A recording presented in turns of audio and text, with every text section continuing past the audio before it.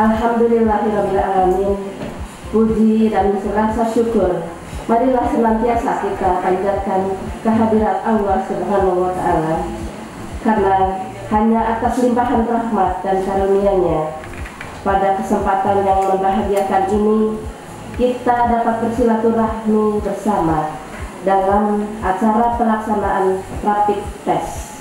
Selanjutnya, perlu kami informasikan bahwa kegiatan rapid test ini dilaksanakan dalam rangka peringatan Hari Ibu ke-92 tahun 2020 yang diinisiasi oleh Ketua Tim Penggerak PKK Provinsi Jawa Barat, Ibu Atalia Ridwan Kamil, dan bertujuan untuk memutus mata rantai COVID-19.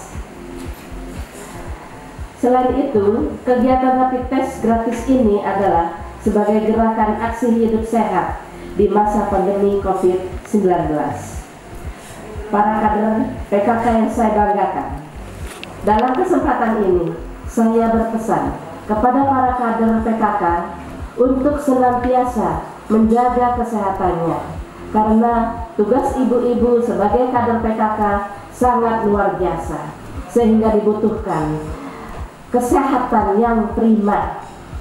Selain itu, saya berharap kepada ibu-ibu semua dapat mengambil peran dan berpartisipasi dalam upaya-upaya pencegahan COVID-19 ini dengan mensosialisasikan 4M yaitu memakai masker, mencuci tangan dengan baik dan benar, menjaga jarak, dan menghindari kerumunan.